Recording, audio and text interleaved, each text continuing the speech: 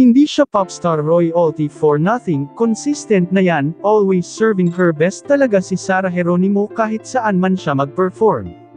Kaya di na talaga sorpresa ang success at fame na tinatamasa niya ngayon. Sa katunayan bukod sa pasabog niyang vocals, saludo ang lahat sa humahabol niyang dance moves. Power artist talaga, pasok sa banga. And speaking of pasok sa banga pasabog din ang bagong balita ngayon para kay Sarah Geronimo. Dahil ang ating popstar Roy Olty ay nominado na naman. Inihayag nga ng Golden of Panther Awards Music Awards na nominado si Sarah Geronimo sa Best Female Artist category sa New York. Isa itong international ceremony honoring the best-selling most popular recording artist and recognized excellence in global show business.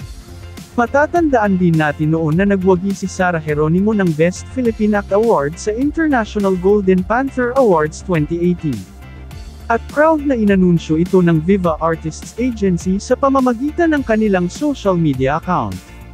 Ang mga tagahanga o popsters ay nagpahayag ng kanilang suporta sa nasabing nominasyon para kay Sarah Geronimo. At inaasahang gagawin nila ang lahat ng kanilang best para magwagi ulit siya sa nasabing nominasyon.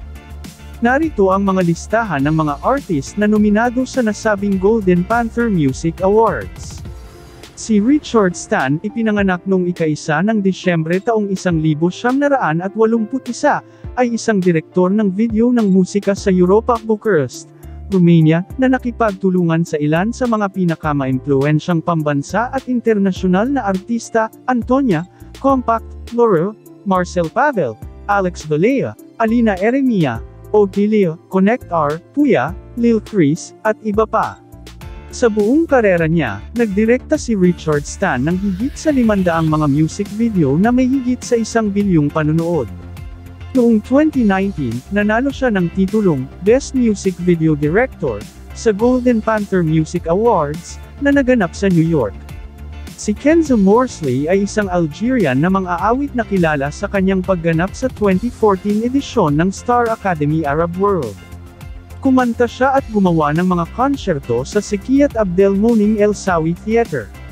Ang tunay na simula ng Rana Sumaha ay nasa programa na Star Academy, sa kanyang ikasyam na panahon kung saan siya ay na-attach ng publiko at nabuo ang isang malawak na fanbase.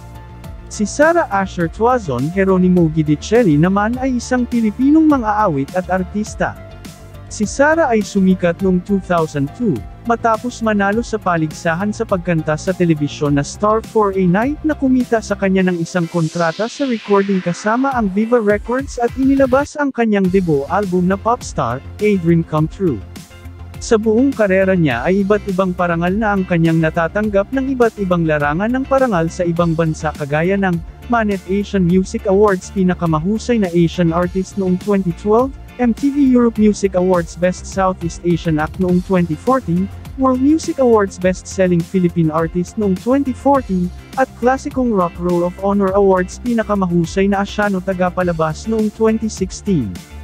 Mas kilala sa tawag na Kader Japonais, ay isang tanyag, nagwaging award na Algerian Rai na mang-aawit at artista sa produksyon.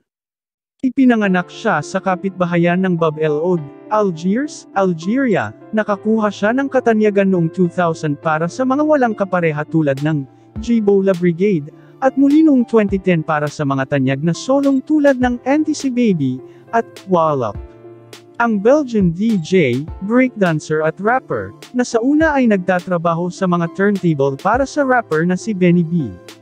Pagkatapos ay nagsolo siya na ginagawa ang rap sa kanyang sarili at ginagamit ang mga kasanayan ng mga manunulat, producer na sina Vito Lucente at Roger Quisens para sa paglabas ng istilong Eurohouse noong 1990s. Siya ay napakagaling sa turntables at nanalo ng maraming kampyonato ng DMC. Sohila Ben Lokhab ay ipinanganak noong ikasyam ng Nobyembre taong 1974, edad 26 sa Algeria. Siya ay isang tanyag na mga awit. Ang kanyang mga tanyag na kanta ay sinalig Manualich 2017, Donny Gaida at Balad Al-Malin Chahid 2016. Si DJ Hakop ay isang tanyag na Armenian artist band, mas kilala sa mga awiting, Mana Mana, Imkorek Ser, Lul Lul. Tuklasin ang mga video ng musikang Gage Hakop, mga nakamit sa chart, talambuhay at katotohanan. Si Asno Lamnawar ay isang mang-aawit na Arabe.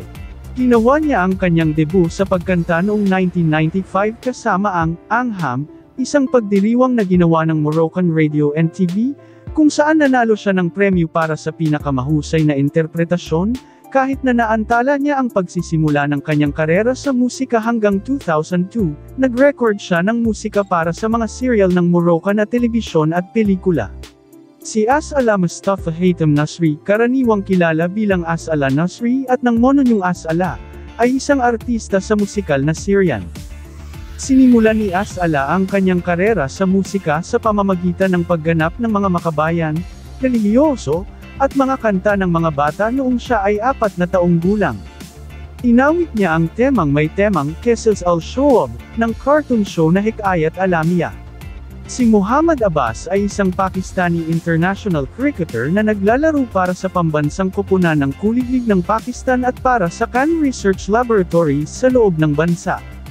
Noong Enero taong 2018, nilagdaan siya ng Leicestershire County Cricket Club upang maglaro sa 2018 County Championship sa England. Si Heidi Musa ay isang mang-aawit at artista ng Egypt. Noong 2016 at 2017 natanggap niya ang DG at MEMA Award para sa pinakamahusay na tumataas na mang-aawit. Sinimulan ni Heidi ang kanyang musikal na career sa Cairo Opera House na itinuturing na isa sa mga pinakamahalagang lugar na nauugnay sa musika sa Egypt.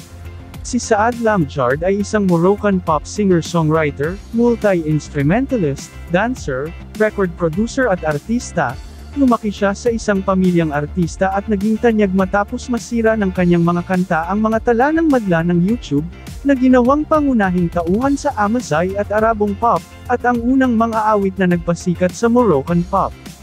Si Ihab Amir ay isang Moroccan na mga awit, manunulat ng mga kanta, kompositor at gitarista.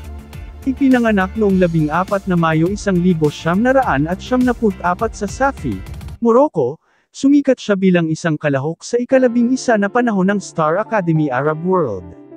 Ginawa niya ang kanyang komersyal na panimulang awit sa pagkanta kasama ang dalawang kanta, Entolibidity, at Paulilia, noong Hulyo taong 2015. Sila ang mga international stars na inaasahan ng kanilang mga fans na magwawagi sa nasabing music awards. Sa mga nais bumoto follow lamang ang Instagram ng Golden Panther Awards official at comment down below na may hashtag GPA underscore just Sara GPH. Ano pa hinihintay niyo vote na sa ating popstar Roy Olki Sara Heronimo?